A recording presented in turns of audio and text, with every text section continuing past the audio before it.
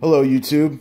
This is the follow-up video I'm doing uh, after my original video entitled WTF Nady uh, about their MM242 personal mixer. So in the previous video, um, that'll give you all the context and everything you need, but in the previous video I said that the, um, excuse me, the um, customer service representative at Nady told me if I use any other power supply other than their Nady brand 9 volt power supply for this mixer, um, that it would, he told me uh, I would blow it up. He told me that I would blow up the mixer and that I would fry the mixer. Um, I also said in that video that that's wrong.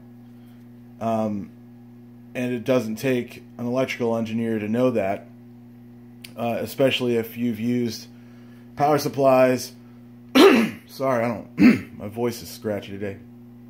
If you used uh, power supplies for guitar pedals and things like that, which I have some experience with. So, um, this video is just to prove him wrong and to show anybody else out there that is using this mixer um, or just bought this mixer for $30 and doesn't want to pay another $25 for the, just the power supply because it doesn't come with one and doesn't want to use a 9 volt battery that'll quickly get drained.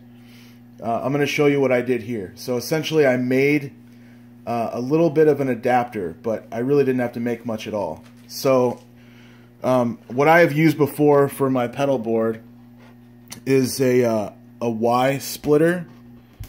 Okay, for um, it's a 5.5 by 2.1 millimeter and it just goes from one female end to two male ends. I'm running my Korg ES1 and this uh, shady MM242 mixer uh, off of the Korg ES1's factory power supply. Um, and all I did was uh, the whole problem with this mixer is that the uh, the barrel that's the panel mounted barrel uh, for the power supply on this thing is too small for any of the power supplies that I have. It won't. A Boss won't fit. Um, the Korg power supply didn't fit. None of these adapters fit. But what I, I found is that I, I, have a ton of power supplies laying around that I don't use. I've just collected them over the years.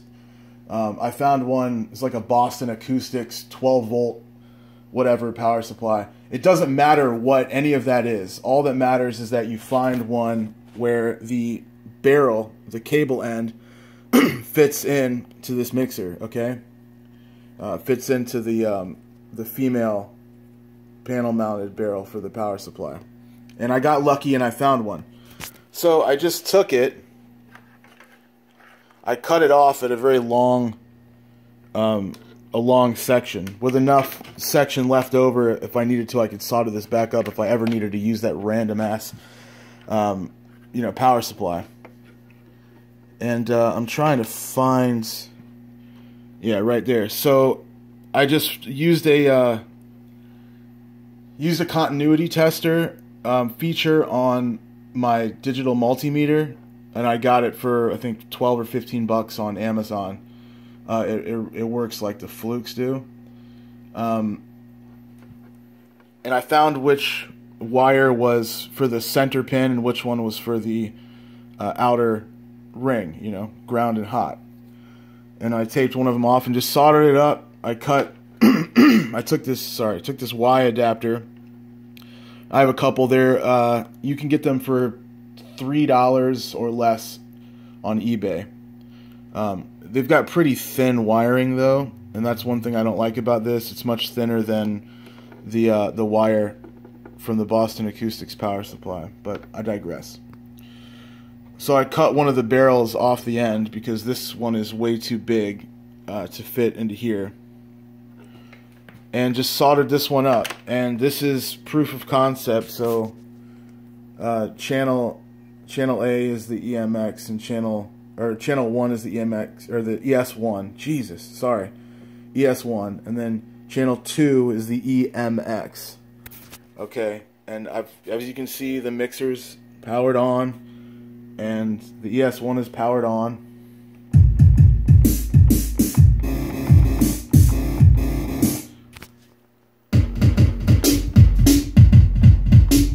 And you can see it peaking.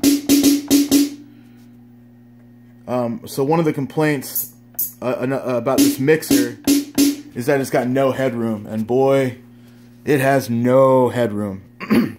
um, this thing is is cranked way down. If I crank it up more, I can hear a serious hum, and that's probably um, some kind of uh, ground loop issue um, from running the Korg ES1 power supply to to two separate. I mean, th that's what happens with a with a guitar effects pedal board, right? That's why um, you know you'd end up getting an isolated power supply like that. So sorry about the terrible video quality, but um, you know otherwise you get some ground loop stuff. So, um, but it works, and it didn't cost me twenty five dollars.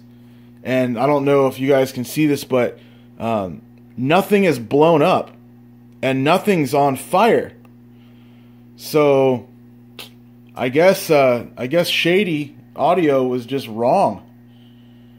Um, so yeah, that's it. That's my workaround. If you have any questions, uh, post up in the comments, and I'd be happy to walk you through um, how to do this for yourself. There were other options as well. I was considering um, just putting in a standard 5.5 uh, diameter barrel in here, like you do when you build, um, you know, your own guitar effects pedals. There's that green one right there is a feedback looper that has one, uh, as does my ABY switching pedal that I built right there, the silver one. Um, so I have them in bulk, but I didn't want to modify this thing. It's a day old. I didn't want to void any warranty, but I probably am right now, right? By using this uh, this wrong, wrong power supply that's going to blow everything up any second now. But um, I figured this is important to share. Um, so that's another option. Uh, another one would be to just use that barrel end and solder it onto, you know, a, a proper any nine volt uh, negative center. I think one amp was the rating power supply, but I'm telling you, there's no way this thing uses 1,000 milliamps. It just can't. I don't see how that's possible. Um, so I think you can get away with less, but um, so I might try that to see if it gets rid of this hum. Um, but for right now, it works, man. And I was able to replace my bandmates, um, you know, this mixer here, which only has two channels uh, in stereo. So unfortunately, this is one of the only options out there for uh, a four-channel stereo that gives you, um, you know, quarter-inch TS uh, input jacks. The only other ones I could find were Chinese knockoffs of this, and they either use 9 volt positive center or 12 volt negative center, and they're like $55. So, really, at that price point, you might as well just get one of these knowing you're going to pay another 25 for the right power supply. Uh, the problem is, I, I, think a lot of people don't know that they know you have to pay for an, an, an op, the optional power supply. What they probably don't figure, and Nady doesn't want to tell you until after the fact, until you get the instructions and everything, is that you can only use theirs, which is again false. It's a marketing ploy uh, to get you, you know, to sucker you out of more money. So don't believe the hype. Uh, thanks for watching.